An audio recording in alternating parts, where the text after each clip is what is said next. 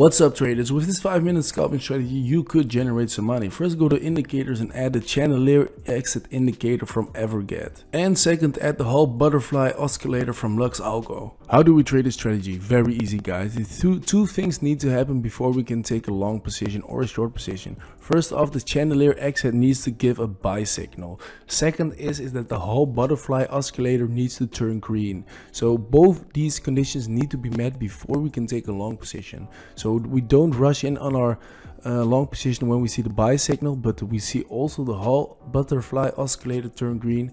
This is where you can take your long position, guys. Always use a risk reward of 1.5 and set your stop loss at the wick high or wick low. As we can see, guys, easy profits. This is how you trade the strategy.